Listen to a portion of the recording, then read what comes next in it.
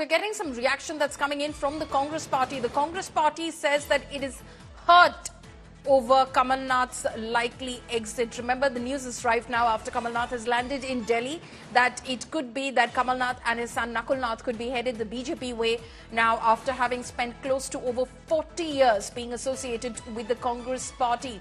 It's going to hurt the Congress, is what a party leader Deshpande has said, but I don't know why this thing has started now. Suddenly, one after another, people are leaving the Congress. Now you're telling me about Kamal Nath.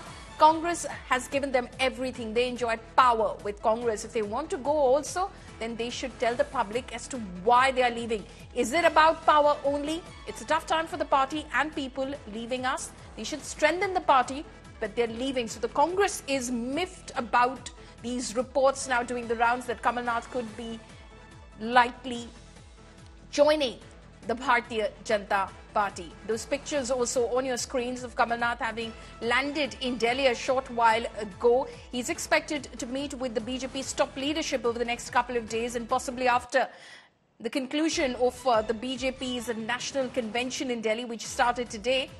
Kamal Nath could join the Bharatiya Janata Party. Let's listen into what the Congress has to say. No, it is definitely hurting the Congress, it's the India bloc.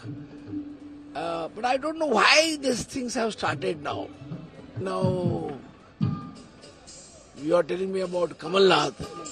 I think, I don't know, they should know that they have enjoyed power. Congress has given them everything.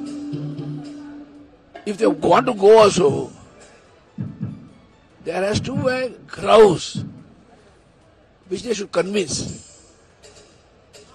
for what they are going. If they are only going for power, it is different.